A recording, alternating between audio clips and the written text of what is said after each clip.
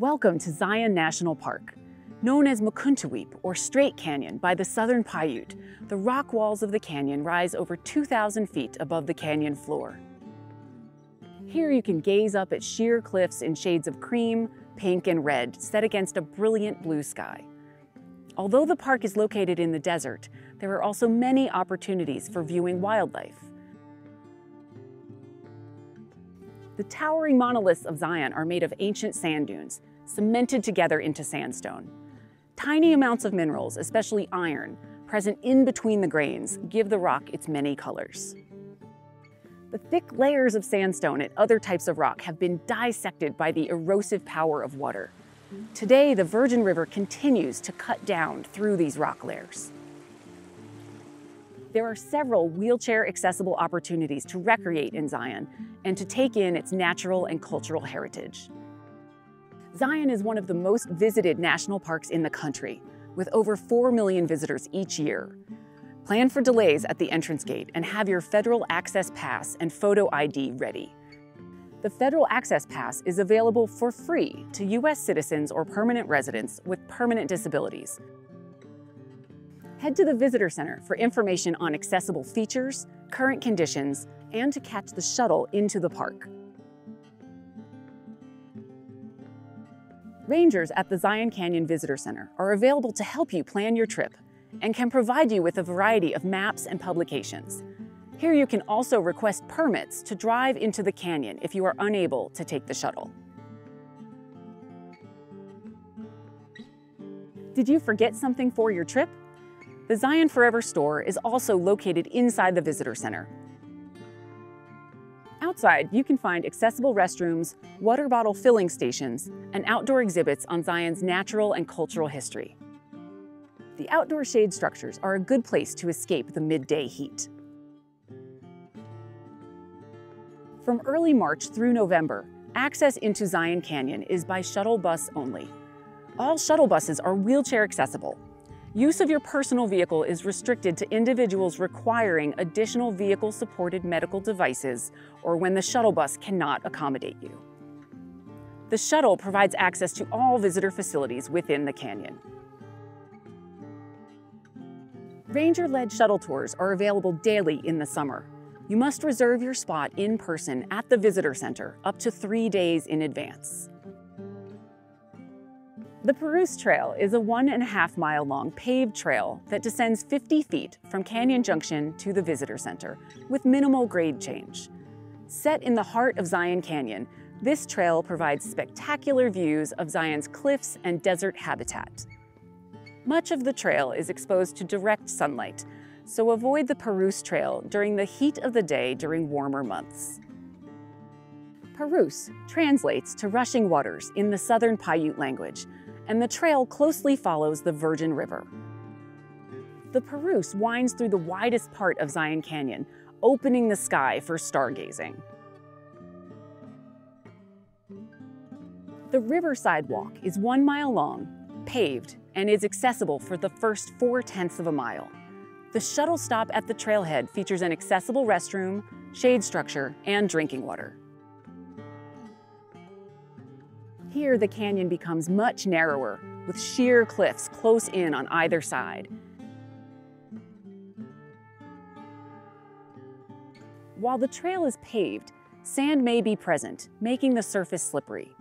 There is an accessible resting and turnaround area four-tenths of a mile in. Beyond this point, short sections of the trail exceed a 20% slope and may become sandier. For an accessible scenic viewpoint, get off the shuttle at Big Bend. Here you will find views of some of the most famous features in Zion, including Angel's Landing and the Great White Throne. You may even see California condors flying overhead. The Zion Lodge is the only dining option inside the park, with an accessible restaurant and cafe featuring indoor and outdoor seating.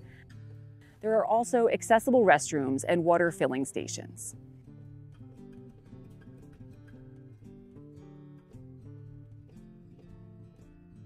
Accessible lodging is available in the hotel or historic cabins. Make reservations far in advance. More dining and lodging options are available outside of the park in the nearby town of Springdale. If you have a strong sense of balance and some upper leg muscle control, you can hit the trails on horseback. This is a unique way to beat the crowds and experience a more intimate Zion. Human habitation in the area now known as Zion extends for over 10,000 years, and this area is a part of the southern Paiute homelands. Permanent exhibits in the museum display the rich human history of Zion National Park, showcasing the southern Paiute culture, pioneer settlement, and Zion's growth as a national park. Here you can also catch the free park film, attend a ranger talk, or just enjoy the view of the temples and towers of the Virgin. The Zion Nature Center is open during the summer season and has a variety of exhibits, books, and games for children to explore. Summer youth programs designed for families and children are also available. Ask a ranger for a self-guided Junior Ranger activity booklet. Completion of the booklet will earn you a Zion Junior Ranger badge. Watchman Campground has accessible sites and multiple other flat sites with easy access to accessible restrooms. Paved paths lead to the visitor center and shuttle stop. A 12-mile scenic highway connects the south and east entrances to Zion. This rugged route features a historic tunnel through the base of the Navajo sandstone, completed in 1930. From the main canyon, this road travels up steep switchbacks to the east side of the park, where you will find unique slick rock features and accessible viewpoints, including Checkerboard Mesa. You may even spot herds of bighorn sheep. Located in the northwest corner of the park, Kolob Canyons features a visitor center, Zion Forever store, and a five-mile scenic drive. The scenic drive climbs past the spectacular canyons and red rocks of the Kolob Canyons area and ends at the Kolob Canyons viewpoint. This steep 20-mile scenic drive climbs north from desert washes into oak, aspen, and fir-covered plateaus set high above Zion Canyon. At the end of the road is Lava Point, a scenic viewpoint at nearly 8,000 feet in elevation. Wheelchairs may need assistance at Lava Point Overlook. The surface is flat, but graveled. From here, you can look down onto Zion Canyon and over the vast plateau. The desert is an extreme environment. Carry enough water and drink it. Seek shade or head indoors during the heat of the day. Plan outdoor summer activities in the morning.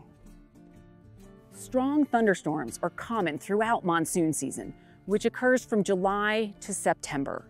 These storms can cause flash flooding in narrow canyons, but be aware that floods can occur at any time. Wildlife can cause injury and illness, Keep your distance for your safety and that of the wild animals that call Zion home. Zion sits at a high elevation, from a low of 4,000 feet to a high of 8,000 feet. At these elevations, oxygen concentrations are lower than they are at sea level. You may fatigue more easily and even experience headaches.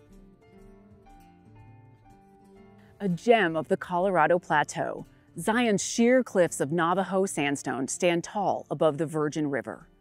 There are many accessible opportunities to experience this diverse landscape. These are your public lands waiting to be explored.